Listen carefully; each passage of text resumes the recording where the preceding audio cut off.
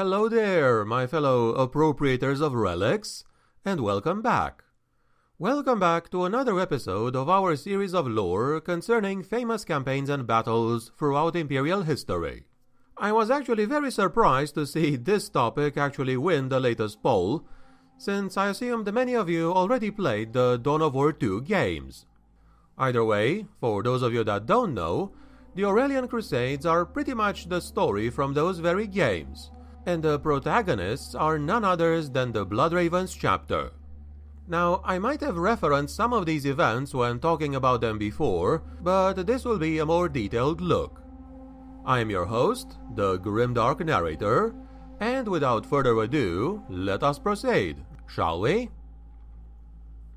And we shall obviously begin with the First Aurelian Crusade. The Aurelia subsector of the Corianis sector had long been very important to the enigmatic Bloodravens chapter, as both a source of new recruits and technology, weapons, and other manufactured items. At an unknown time, sometime in the 41st millennium, an unnamed Bloodravens force commander, which would later become known as Aramus, and Sergeant Tarkus launched a deep strike onto the desert feudal world of Calderis to aid Captain Davian Thule and his company. Those guys were engaging a large force of orcs that were threatening the people of Calderis. The Bloodravens neophytes drawn from the Aurelia subsector were needed more than ever after the Bloodravens suffered horrible losses in their campaign in the Kaurava system. As the Bloodraven strike force on Calderis drove away the orcs, they were confronted by mekboy Bad Zappa and his mighty war truck. Although the mek escaped, the Astartes collapsed the mine for which the orcs had been assaulting the human settlements on Calderis and did claim victory.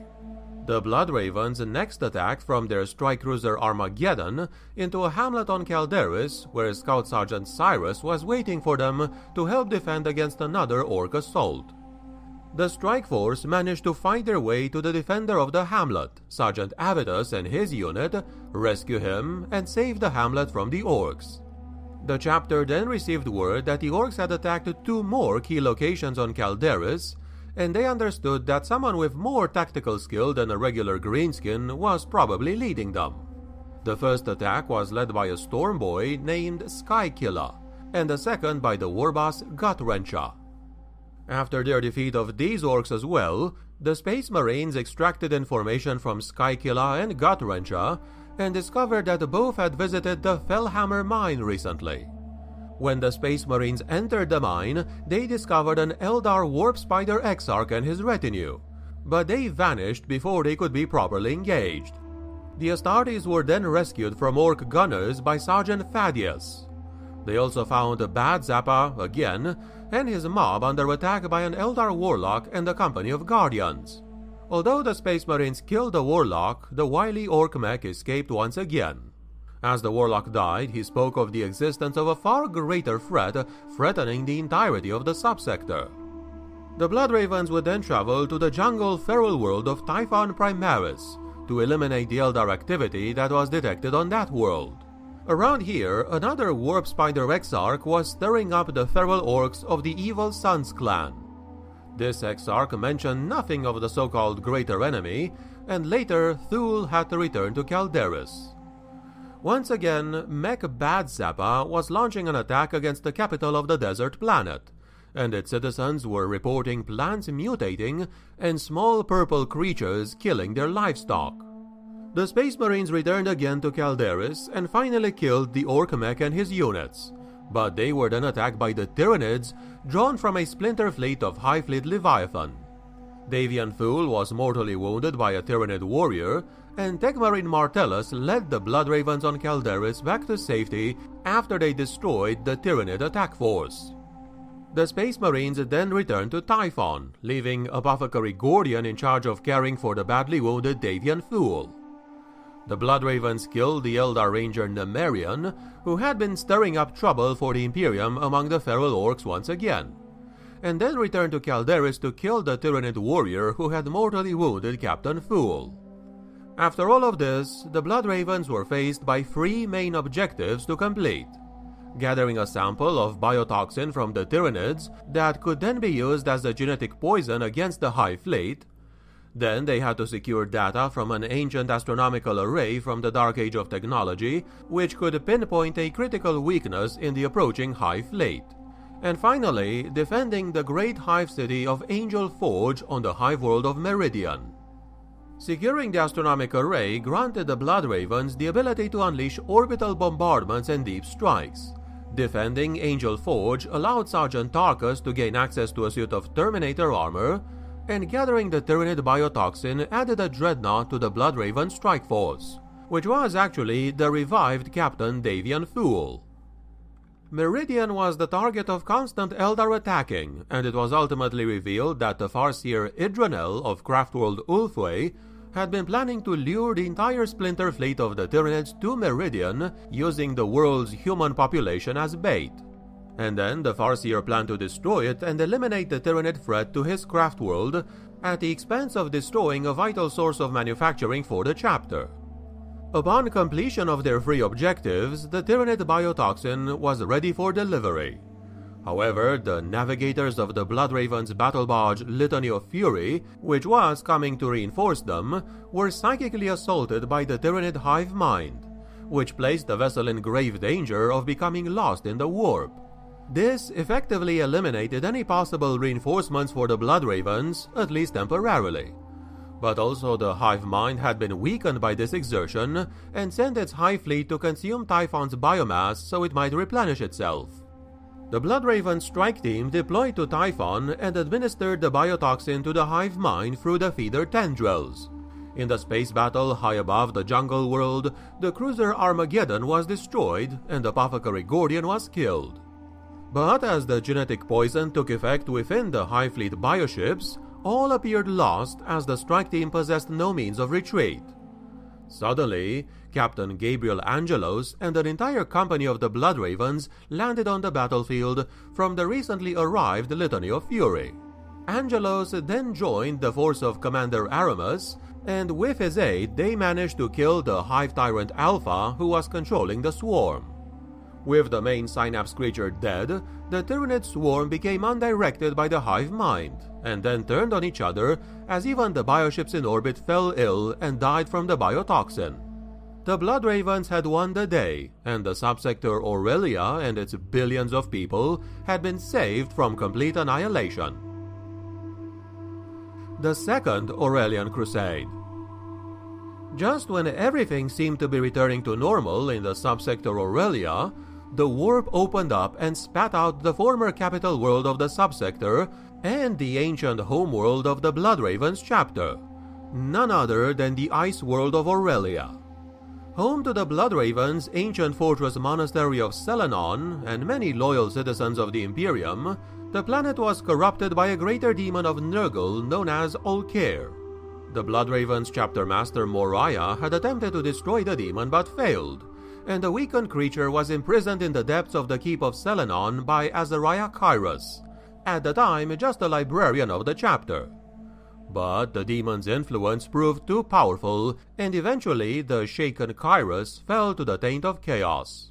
Aurelia itself was swallowed by the warp, and its existence in the subsector that had been named after it was all but forgotten. Yet the ice encased planet returned to real space in the late 41st millennium, bearing the foul armies of Chaos. These were a warband of Chaos Space Marines from the Black Legion, led by the Chaos Lord Araghast the Pillager, and the former Wordbearer's apostle Eliphas the Inheritor, who had been resurrected by the will of the Dark Gods. Captain Gabriel Angelos and the Force Commander Aramus rallied the Blood Bloodravens Astartes of the 3rd and 5th Companies to face this threat. No sooner did they join combat that the Eldar and the ever-present Orcs rose up to cause trouble along the heretical soldiery of the hive world of Meridian's noble house of Vandis.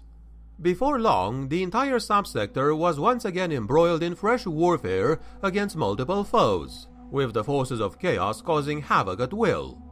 As the Bloodravens scrambled to respond to all these threats, even more dire circumstances came to light, as the Space Hulk Judgment of Carrion returned to the subsector.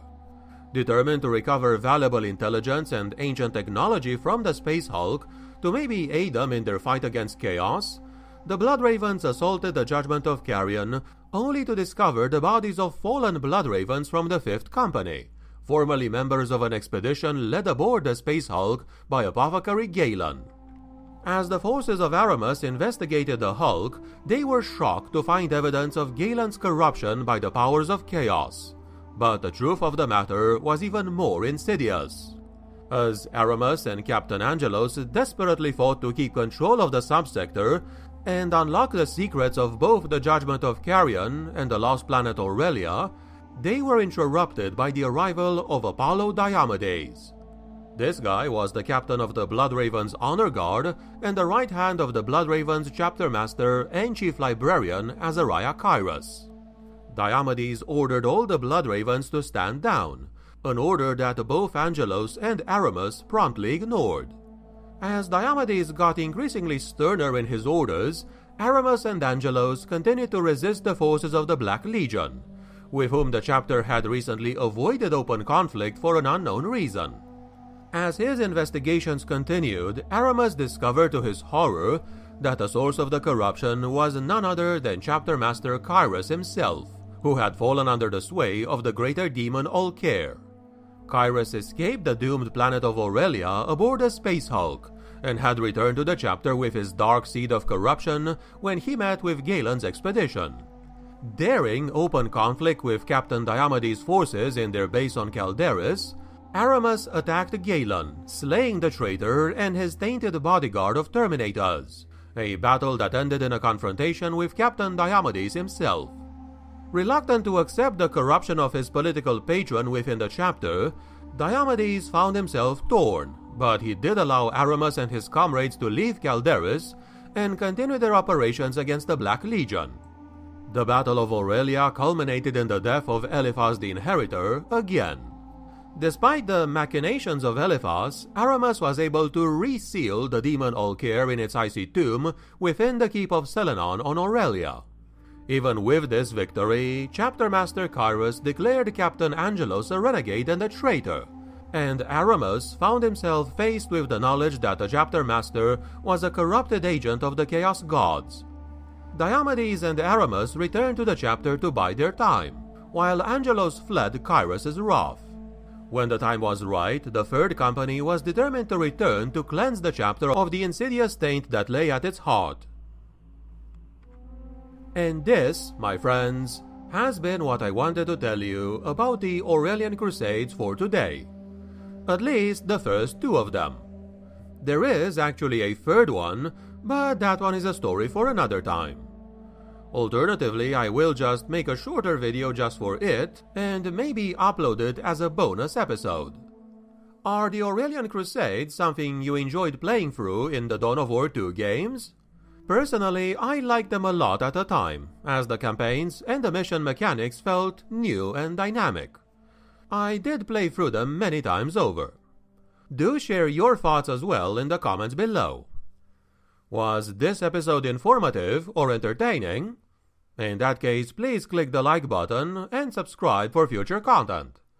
Thank you very much for watching, and I wish you all an amazing day. The Emperor protects.